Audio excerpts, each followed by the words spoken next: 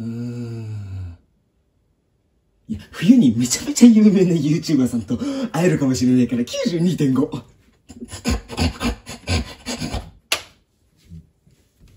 おは、おは、おは、おは、おは。おはようございます。誰がおはスタのオープニングの歌わかんねんっていう話ですけども、スティーブンです。本日は11月2日、11月です、皆さん。ねえ、あと1ヶ月でもう12月と、クリスマス、年末っていう感じでもうね、早いですね、1年。僕のね、今のね、状況を説明すると、まあ今、その練習参加するにあたっていろいろ動いてくれてる人と話してて、まあ多分11月中には練習参加できるかな、みたいな感じなんで、まあそうですね、本当に、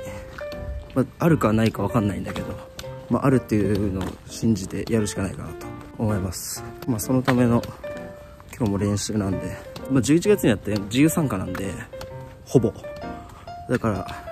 もう下手したら今日も5人とかしか人数いないかもしれないけど、まあ、やっぱり自分のさっき言った練習参加とか、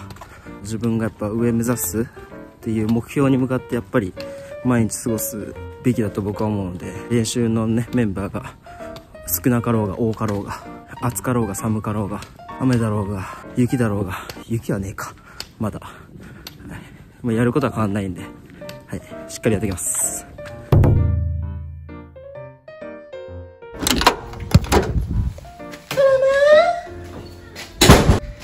洗濯物干します。あ、干しますじゃない、洗います。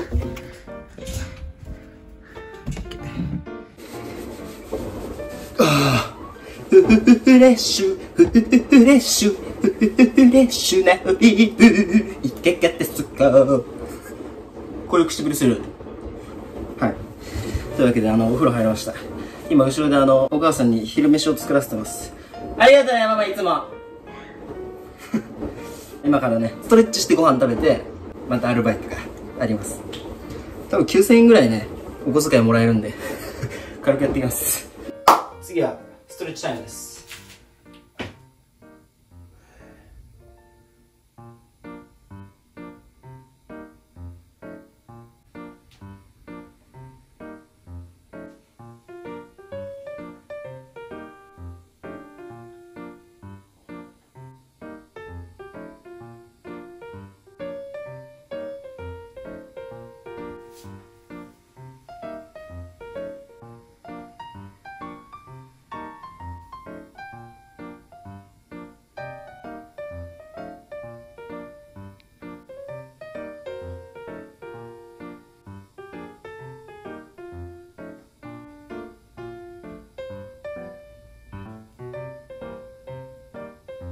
今、お昼ご飯を食べてます。なんか LINE 来てる。今日は8人ぐらいの練習だったかな。ぶっちゃけ、人数ほんと関係ない。まあもちろんね、その11対11ができないとか、まあそういう面もあるかもしれないけど、少なかったら、多ければいいってわけでもないじゃん。なんか少ないからこそ、このパスコントロールのところできたりとか、ポゼッションのところできたりとか、結局人間ってやっぱどこまで行ってもね、ないものねらないなんで、ないものを考えるより、今あるものの中で、どううまく使うか、どうやったら自分が成長するかっていうのを、まあ、どんな状況でも考える。まあ、今日の練習やってみても、止めるけれど、その止めるの部分、意識だけでやっぱ変わるし、そういう一個一個の多分積み重ねが、試合のワンプレーでポンって出たりすると思うから、人数少ないからこそできることって絶対あるから、多い時にはできない練習メニューとか、そう。まあ、何事もやっぱそういう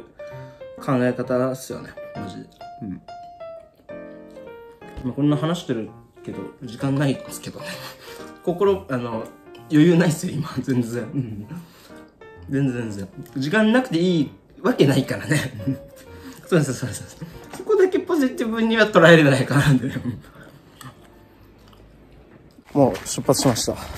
練習になるとね、仕事、みんなやってるってすごいなと思いました。もう時間がね、ないもん。気持ちの余裕も。でもあと、6分後に乗んないと、その仕事場に間に合わないっていう、その仕事の時間。いや、まあまあ、YouTube 今までやってましたけど、普通に働きながら、サッカーやる、やって、上目指してさ、J 行った人いるじゃないですか。関東一部から J 行った人もいるし。なんかそういう人すごいな、マジで。俺も頑張ろう。成り上がるから見ててみんな。てかみんな、みんなで上がってこうよ。上に。今、待ちたいきます。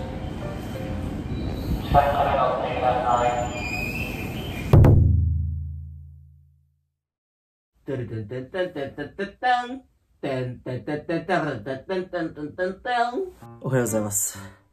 スティーブンです。時刻は今朝のね、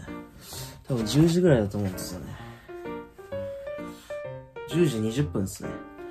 さっき7時ぐらいに起きて、朝ごはん食べて、今8時から寝て、今10時ぐらいですね。最近さ、僕がめっちゃおすすめな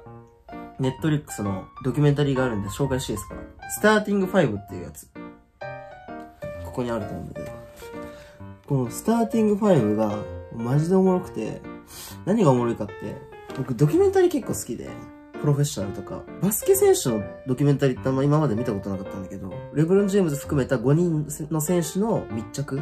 アンソニー・エドワーズとかの密着するんだけど、そう、朝起きてから寝るまでとか、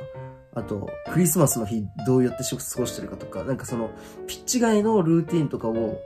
見れる作品になってます。はい、このスターティング5、選ばれしエースたちっていうやつ。10話あるわ、10話。てか俺もう、最終話の次で。本当に、おすすめなんで皆さんぜひ見てください。おはよう。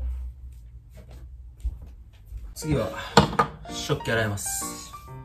11月も代表戦あるっすね。今回ちょっと見たい選手いてオナイユアド選手ちょっと呼んでくんないですかね。同じハーフとして見たいっすね。去年フランスの2部で15点ぐらい取った。で、まあ、チームとともに昇格して、まあ、今シーズン、まあ、多分スタメンじゃないと思うんだけどこの間のリーグ戦も決めて今季2点目フランスリーグで今ね活躍してて。海外でさ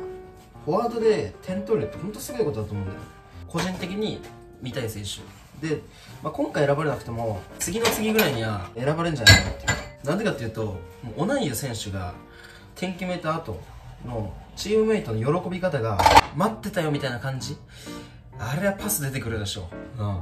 て思ったっす。次なんですけどあのー、自転車を30分ぐらいこいでその後に個人トレーニングをやります。今日不発の練習あるんで、まあ、午前中にちょっと血流を回すという意味で体少し動かしてる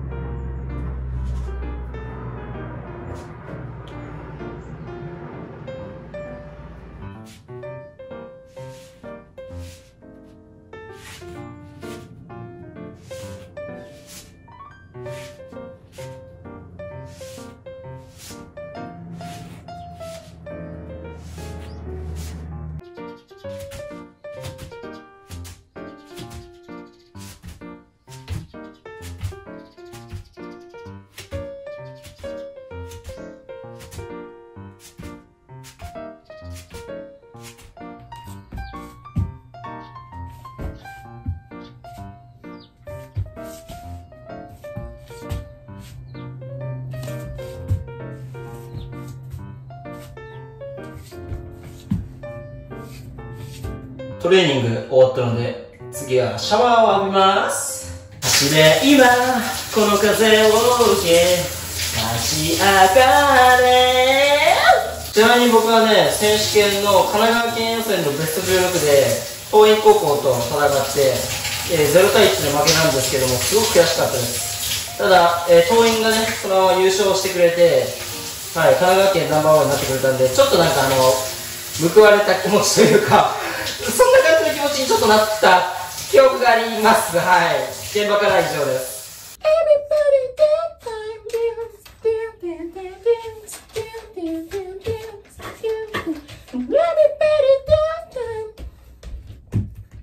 ちょっと今ね、緊急で動画回してるんですけど、前回の非公式試合あったじゃないですか。まずそれ見てない人はね、そこから見てほしいんですけど、なんでかというと、時系列がごちゃごちゃになるんで。はい。で、その、まあ、前回の非公式試合の後に、まあ、実は言ってなかったんですけど、とあるチームのスカウトの方に声をかけられていました。試合が終わって、まあ、シャワー浴びて、じゃあ帰るか、つって。チームメイトとスタスタ歩いて、グラウンドをね、出ようとしたら、一人の黒い服着た、もう見るからにスカウトじゃん、みたいな 人が、まあ、こっちの方に歩いてきて、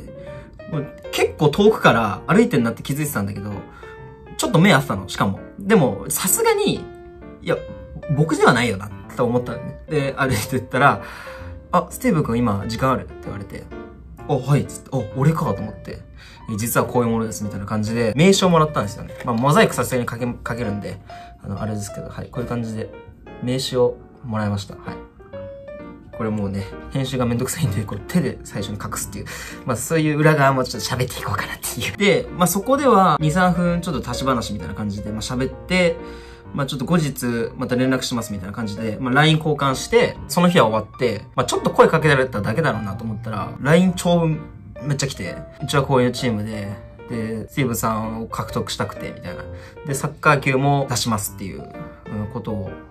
言ってくれて、ああ、でもこういうことあるんだと思って。スカウトされるとかって、もうサッカー人生振り返ってもね、一回もないんだよね。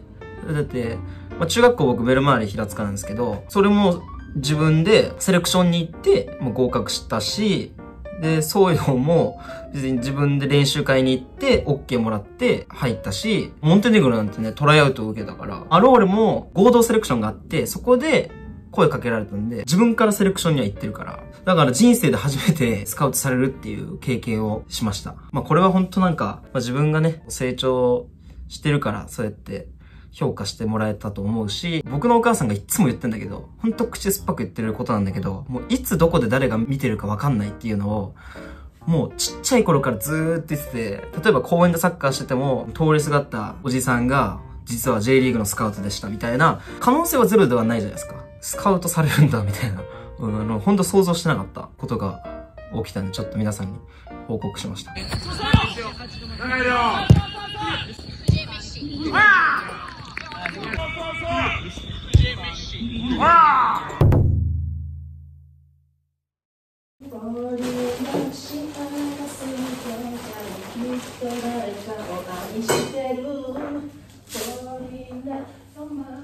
の神様今日もありがとう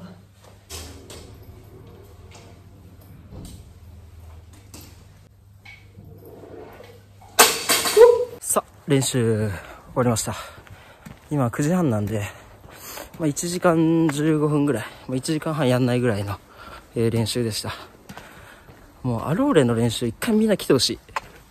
結構ハード。やっぱねハードっす。人数この間も言った通り少ないんですけど、えっとね、時間、例えば3対3対3を1分間やるとか、レストも短めでみたいな。なんか田畑式とまではいかないけど、そんな感じずっと。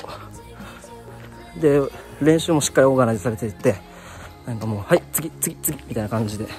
あっという間にいつも練習終わる感じで、もう充実してね、トレーニングが、スタッフ、そしてチームメイトの皆さんのおかげで、できますと。はい。そんな感じで、もう真っ暗だよな。家に帰ります。